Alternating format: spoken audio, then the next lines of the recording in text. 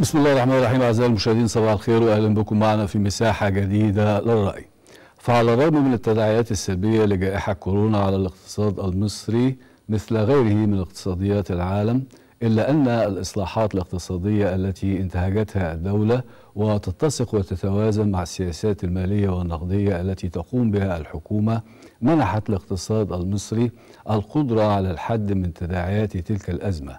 ظهر ذلك جليا في تماسك المؤشرات الاقتصادية وتحقيق نتائج جديدة في عام 2020 الحمد لله. وهو الأمر الذي ساهم في جعل مصر من الدول القليلة على مستوى العالم التي تستطيع تحقيق معدلات نمو إيجابية خلال هذا العام وذلك بشهادة المؤسسات الاقتصادية الدولية والعالمية. حول حصاد مؤشرات أداء الاقتصاد المصري خلال عام 2020 سيكون الحوار مع الدكتور وليد جاب الله الخبير الاقتصادي وعضو الجمعية المصرية للاقتصاد والإحصاء والتشريع. دكتور وليد أهلا بحضرتك. كل سنة وأنت طيب منورنا في مساحة للرأي. أهلا وسهلا أستاذ نادر واهلا وسهلا بالسادة المشاهدين. اسمح لنا نطلع لفاصل ثم نعود لنبدأ النقاش.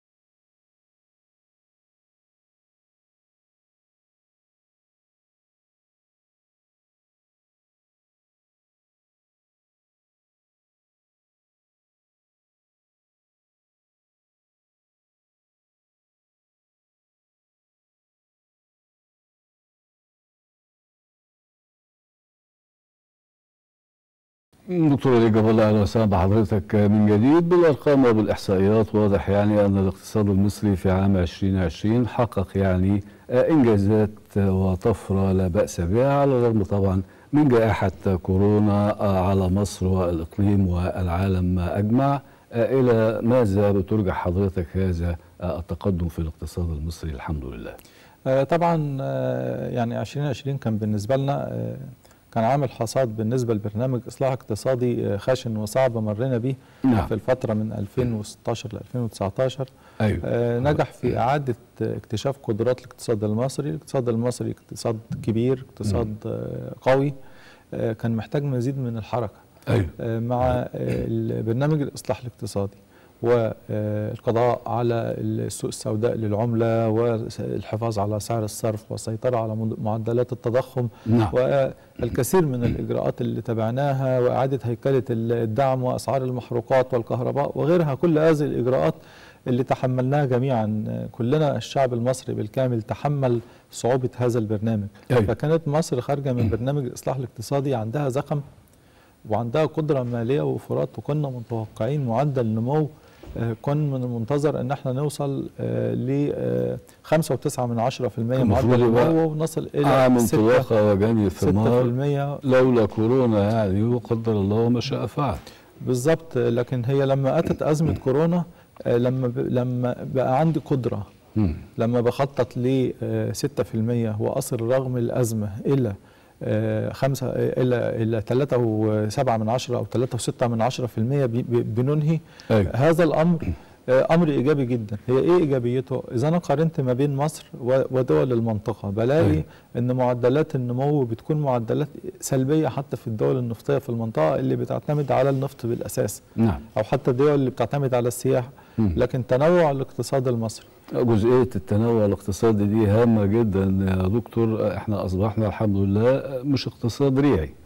آه، خلينا نقول إحنا نطمح في أن نكون أكثر تنوعا. نعم. ونطمح في أن ال ال يعني الصادرات غير النفطية تكون آه، بأكثر. ويظل أيوة. الطموح المصري نحو مزيد من التنوع ومزيد من التنمية. نعم. ولكن هو واقعنا الحالي إن إن قدر التنوع اللي كان موجود في مصر ومش عارف يتحرك برنامج الإصلاح الاقتصادي إداه النفس إداه إداه الدفعه وإداه الوقود إن هو يتحرك نعم. ويبدأ آه، يظهر قدراته. المؤسسات الدولية نفسها كانت يعني على يعني مع مع توقعاتها المتنوعة كانت بتدور ما بين 2 و 2.5% يعني قالوا إن مصر هتنهي 2020 م- ما بين 2 و 2.5% معدل نمو. أيوة. آه، صندوق النقد الدولي لما الخبراء أتوا الشهر الماضي عدلوا من توقعاتهم. وقالوا إن الاقتصاد المصري قبل بلاء أفضل من المتوقع وإن إحنا هننهي آه، 2020 بمعدل نمو 3.5% نعم. آه، آه، بالأمس تم الإعلان إن إحنا إن شاء الله بننهي 2020 ب 3.6 من 10% معدل نمو.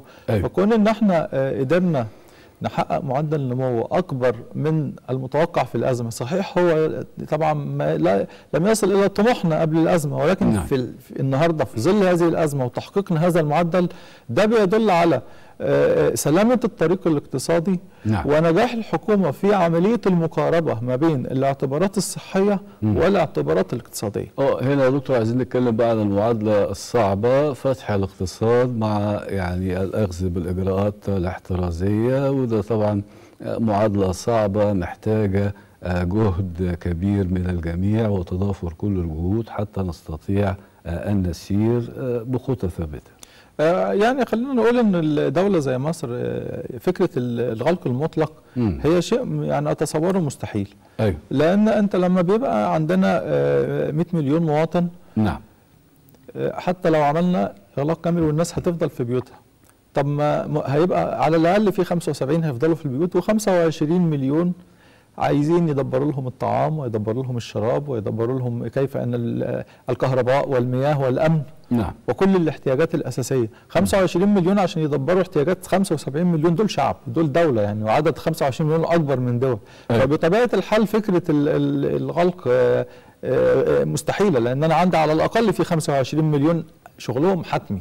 نعم بالإضافة إلى أن حتى عملية ال- الغلق آه، لمدة أسبوعين أو كذا كان في في المرحلة الأولى من الفيروس اللي كنا بنقول ممكن نسيطر عليه في أماكن جغرافية محددة أو في نطاق محدد نعم. أصبحت النهارده إحنا مش عارفين هو فين يعني ما نقدرش نعم. ما تقدرش تحصره بحالات معينة جاي منين رايح فين فما فيش قدامنا دلوقتي غير اتخاذ الإجراءات الاحترازية نعم. إزاي نضمن عمليات التباعد الاجتماعي اللي ما بين اللي ما بيننا إزاي نضمن إن إحنا نقوم بعملنا من- آه، بنلبس الكمامة طبعا إحنا في الاستوديو كنا لابسين كمامة بس عشان الهواء. التصوير نعم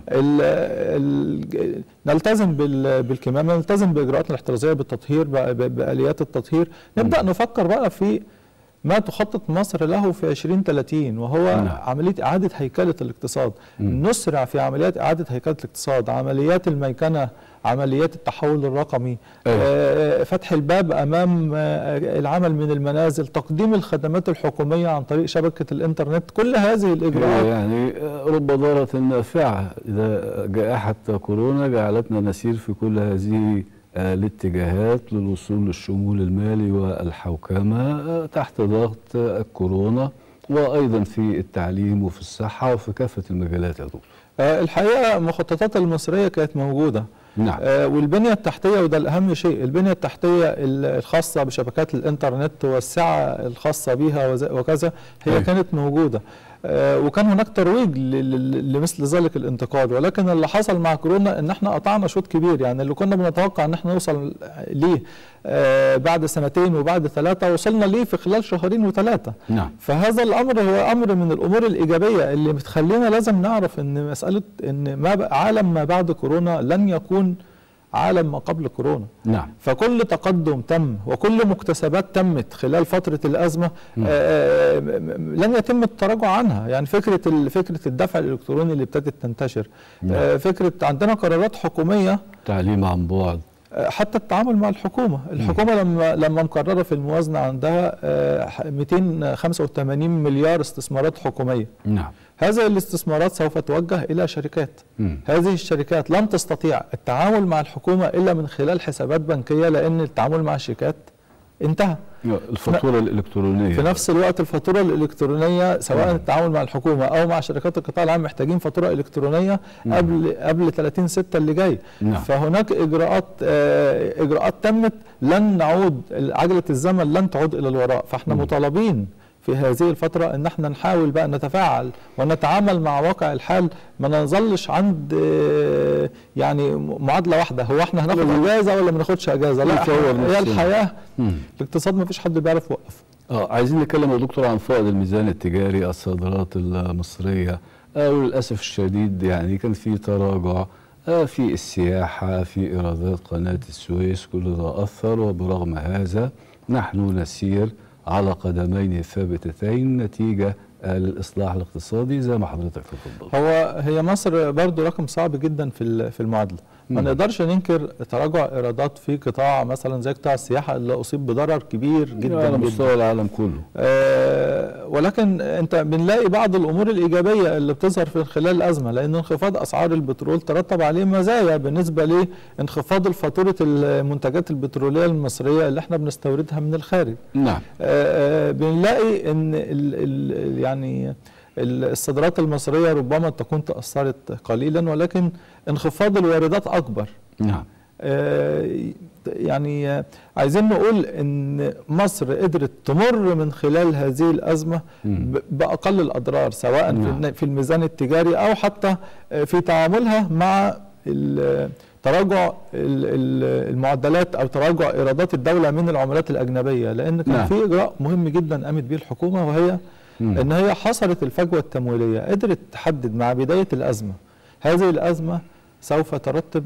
نق- نقص في العملات الأجنبية قد إيه؟ مم. قدرت تحدد ال- الرقم. إحنا عندنا أداء الجنيه المصري أمام الدولار والعملات الأجنبية ما شاء الله يا دكتور برضه يعني عايز تفسير.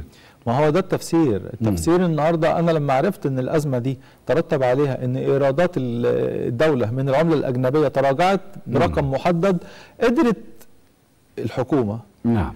تدبر تدبر تمويلات أجنبية بالتعاون مع المؤسسات الدولية صندوق النقد وغيرها إحنا واخدين. من الصندوق آه، 8 مليار تقريبا وفيهم شرائح بنكملها دلوقتي نعم. وأكثر من مؤسسة سد الفجوة التمويلية بيترتب عليه ثقة ثقة من المستثمر إن هذه الدولة اللي, اللي لا زالت محتفظة باحتياطي كبير 39 مليار بنوفي بالتزاماتنا. اولا بأول الحمد بتقدر لله تفي بالتزاماتك ما عندكش مم. مشكلة آه، آه، بيجي بعد كده حتى في الداخل المصري لما الناس بتعرف إن الدولار مستقر مم. فما بيبدأش يضرب عليه ما ما نعم. يبدأش يشتري دولار عشان يح... علشان يخزنه في البيت عشان لما يرتفع مم. فبتظل وظيفة الدولار هو وظيفته الحقيقية وهي نعم. شراء المستلزمات والاحتياجات آه، الأجنبية أيوة. هذا الأمر خلق نوع من أنواع استقرار سعر الصرف واستقرار. الأداء الاقتصادي بصفة عامة مم. دكتور وليد اسمح لنا آه، نخرج لفاصل آخر ثم نعود لنستكمل النقاش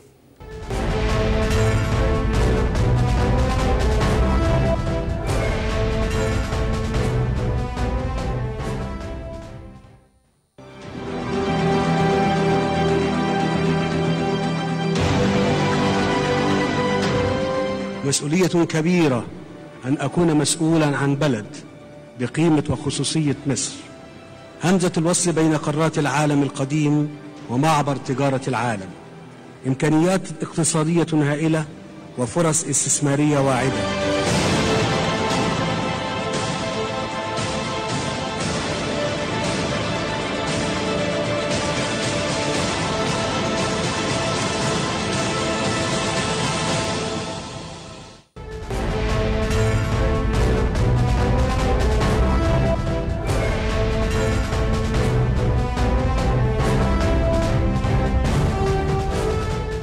دكتور جاب الله وبرغم طبعا كل هذه المطبات الاقتصادية اللي مر بها العالم كله مشروعاتنا القومية العملاقة آه الحمد لله شغال على قدم وساق الرئيس السيسي آه يعني يكاد يكون أسبوعيا يمر بنفسه يطمن وفي نفس الوقت بيطمن على الإجراءات الاحترازية بالنسبة للعمال والمهندسين وكل الذين يعملون في هذه المشروعات القومية العملاقة.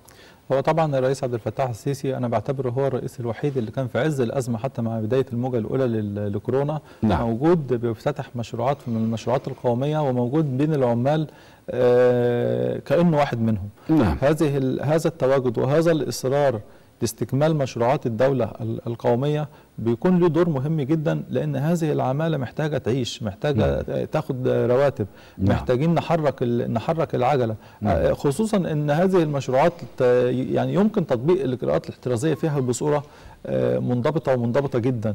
آه، وجود هذه المشروعات ساعد آه، في دفع عجلة الاقتصاد ساعد في أيوة. توفير الرواتب ساعد في الحد من تزايد معدل البطالة في في ظل هذه الأزمة والدولة ما سكتتش هناك مساعدات مالية لكل المحتاجين والمضارين من هذا الفيروس اللعين وتسهيلات وفاسيلتيز في البنوك ويعني الضرائب وغيره كله يعني الحمد لله شغال على قدم وساق الحقيقة 2020 شهدت مجموعة من الحزم من حزم المساندة المتنوعة جدا للقطاعات المتضررة. أيوة. آه، تم رصد في في بداية الأزمة 100 مليار جنيه لمساعدة القطاعات المتضررة.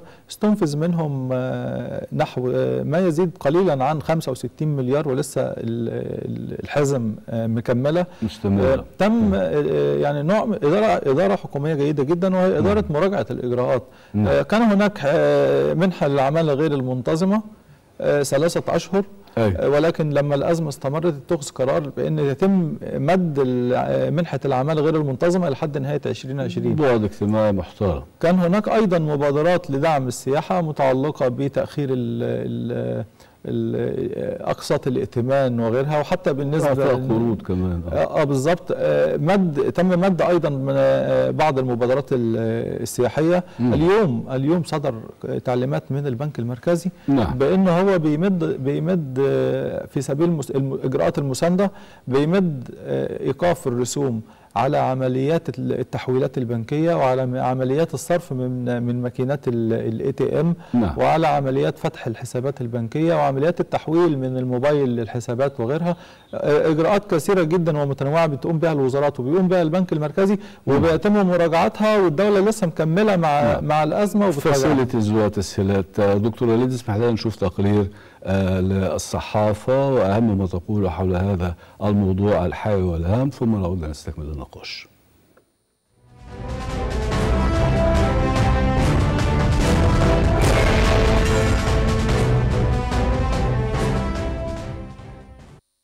عبد المحسن سلامة يقول الدبلوماسية الاقتصادية نجحت في التغلب على متاعب وأوجاع كورونا والحد من مخاطرها ما أدى إلى توقيع اتفاقيات للتمويل التنموي خلال العام الحالي.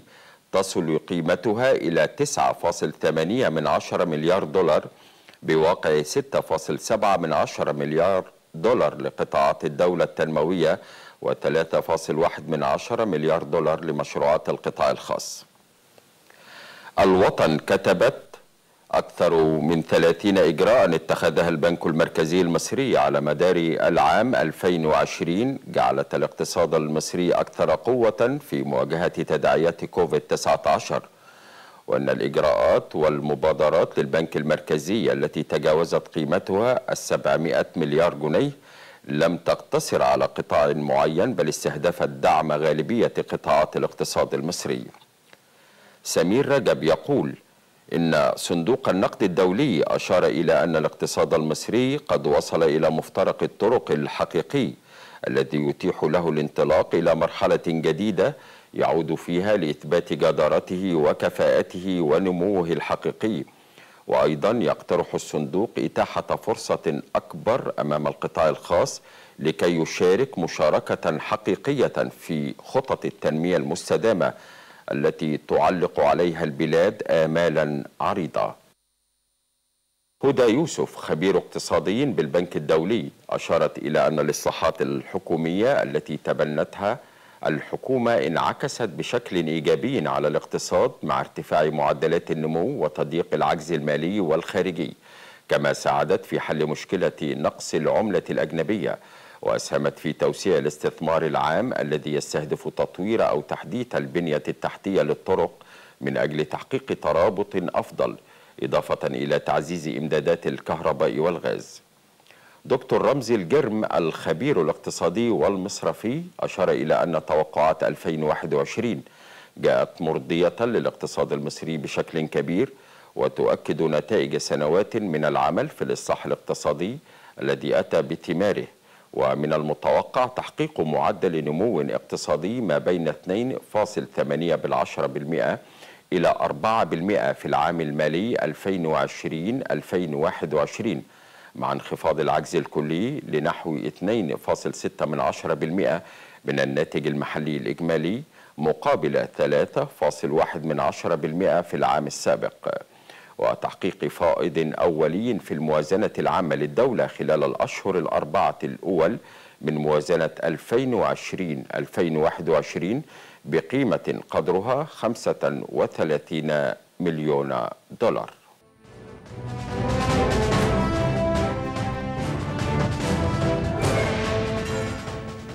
دكتور وليد الله أهلا وسهلا بحضرتك من جديد. يمكن عرض الصحافة تناول الكثير من المواضيع الهامة. خليني أعرف حضرتك تحب تعلق على إيه ودونت بعض الملاحظات. آه، الحقيقة أنا عايز أعلق على مجهود آه، وزارة التعاون الدولي آه، نعم. بقيادة الوزيره رانيا المشاط.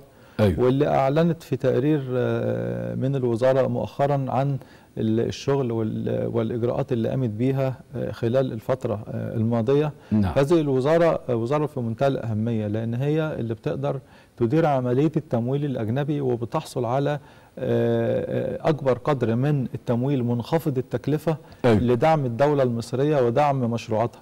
آه، قامت الوزارة خلال هذه الأزمة بتدبير آه، قدر كبير جدا من التمويلات وذك- وذكر في التقرير 9.8 من عشرة مليار دولار آه، نعم. تموا آه، استثمارات وهناك أرقام أكبر من كده في الكثير من من المشروعات نعم. حددها حددها التقرير وكانت ال- الوزارة حريصة جدا إن هي بتصدر هذا التقرير علشان تعرف المواطن المصري الفلوس اللي بتيجي من بره واللي التمويلات اللي بتيجي من بره بتروح في أي مشروع نعم وأيضا كشف حساب يعني وأيضا كانت على تواصل آه، وقامت بزيارات مع ممثلين الجهات ال- جهات التمويل ال- في المشروعات اللي تمت على أرض الواقع علشان يشوفوها بحيث إن تتم إدارة عملية التمويلات المصرية نعم. بشفافية كبيرة جدا للجميع للمواطن وللجهات الأجنبية وللعالم بالكامل هذه الشفافية بتساعد على قدر من كبير من المصداقية بيؤدي إلى مزيد من القدرة على جذب تمويلات استثماريه إنجازات لمصر. يا دكتور الطرق والكباري والمترو الأنفاق والسكة الحديد وضخ أموال كثيرة في هذه المشروعات التي تخدم المواطن المصري وتحاول أن تيسر له الحياة في شتى المناحي يا دكتور وليد. ما كانش. يعني ما كانش بيدخل في. ال- هذه الصفقات ال- صفقة القطارات الكبيرة اللي اللي بتصل تباعا لل- للسكة الحديد نعم. آه، إزاي ان إحنا في عز الأزمة تم افتتاح مرحلة جديدة من مراحل المترو المترو وإزاي إن إحنا بنكمل في مشروعات المترو نعم. بنشوف الخط الرابع أيضا هناك الأعمال الأعمال الإنشائية ابتدت يتم إن هي بتتم وشغالين عليها أيوة. شايفين مصر 2030 اللي لا يستطيع أن يوقفها أحد يعني مستهدفات 2030 آه، الدولة المصرية لن تسمح لكورونا ولا لغير كورونا إن هي توقفها عن المستهدفات المحددة والمشروعات المحددة وال وال وما ما نريد أن نصل إليه في 2030 بإذن الله بإذن الله مصر هتصل إليه ولن يوقفها أحد إحنا بنتكلم. عن التنمية المستدامة 2030 هناك أيضا دفعة كبيرة آه، من قبل آه، الحكومة للقطاع الخاص واعطائه الفرصة آه، كاملة في المساهمة في هذه التنمية المستدامة. آه، أعلنت وزارة التخطيط وأعلنت الوزيرة إن 2020 هيكون عام القطاع الخاص مم. القطاع الخاص حصل على آه، تسهيلات كبيرة صدر أيوة. قانون ضمانات وحوافز الاستثمار آه، خلال أزمة كورونا حصلت مبادرات كثيرة متعلقة بالإعفاء من من غرامات التأخير للضرائب وللتأمينات أيضا في البنوك ال- حصل إعفاء من آه، غرامات التأخير آه، لمن يسدد مجرد نصف الدين 30 إجراء من البنك المركزي آه، آه، كبيرة جدا. كلها، آه. لما بنضيفها إلى الأصل اللي تم وهو إن القطاع الخاص أصبح لديه أراضي صناعية تم توفيرها آه، شبكة طرق بتقرب ما بين ال- المصانع والمتاجر والمواني اللي تم تطويرها بالفعل هي أيضا نعم. كل هذه الإجراءات بتصب في إن القطاع القطاع الخاص الظروف النهارده اللي موجودة للقطاع الخاص أفضل بكثير من قبل كده أنا مش عايز أقول إن إن الأمور يعني يعني وردية جدا إحنا لا في لا لازم يعني أي. مستثمر أي مستثمر دوره إنه يشتغل مم. يعني أنت يعني لو وإلا كانت الناس مش هتعمل حاجة يعني مم. لازم دور المستثمر بقى إنه يستجيب. لما تقدمه له الدولة من مبادرات ويتفاعل مع هذا الأمر بحيث إنه لما بيشتغل حتى وتقابله عقبات إحنا بنشوف الحكومة عندهم مرونه كبيرة جدا مع المطالبات المست... مع طلبات المستثمرين ومع طلبات أيوة. الشعب وهي باستمرار شفناها في قانون التصالح لما الناس بقى لها طلبات معينة في في قانون التصالح في مخالفات الحكومة. استجابت في نعم. استجابة أنا يعني الحكومة قريبة جدا من ال... من الشارع ومن المستثمر مرونة ومن يعني المواطن في التطبيق يا دكتور بالتأكيد يعني ودي حاجة إحنا لامسينها كلنا مم. الاستثمارات بقى دكتور في قطاع الغاز الطبيعي والكهرباء وغيره وهنا يعني الحمد لله أصبح عندنا وفرة في كل هذه الأشياء التي كنا نعاني منها آه، بالأمس القريب.